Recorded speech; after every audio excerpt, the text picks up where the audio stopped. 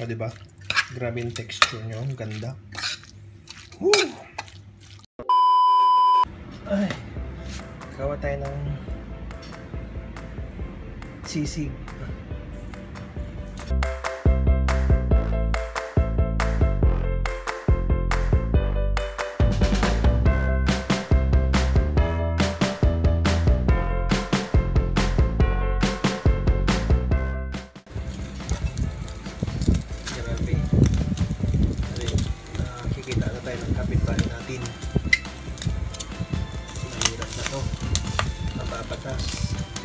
Ay, kuy. Mo, grabe.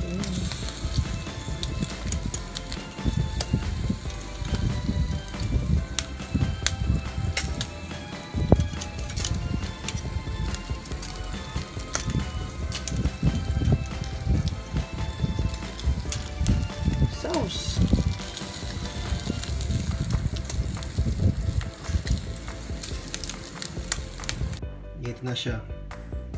Minadali ko na kasi may nag-alarm sa kabilang building. Ako'y biglang natakot bo. Hiwain na natin. Ay. Nagpudot.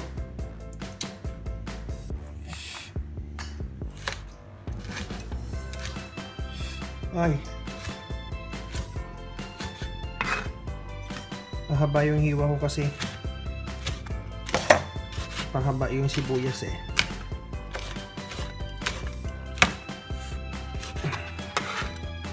Sarap nito man.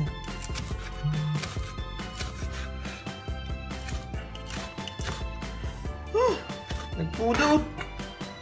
Grabe, amoy na amoy yung usok. Ang bango. Ah, ang init.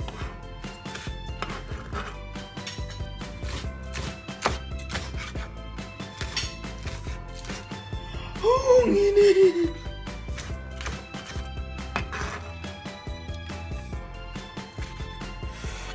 Huh.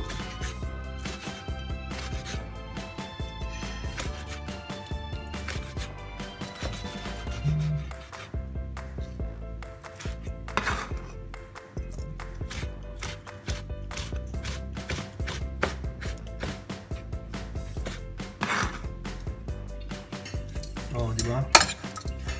Perfect. Itong brown na to is yung liver spread. Pinakita ko kanina.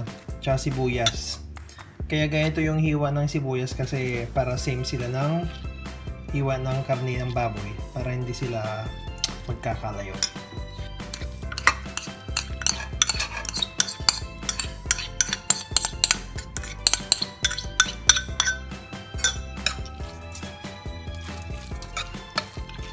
Ayun pala din, m- meron siyang kwanyom.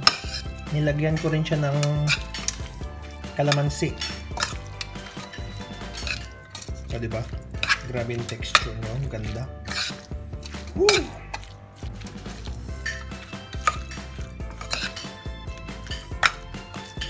Siyempre, hindi masarap ang sisig kung walang sili. Ito nga palang sili ko to eh, tanim ko last year lahat ng nahihinog, freeze ko siya para tumagal siya, di ba? Sana lahat tumatagal. Bye.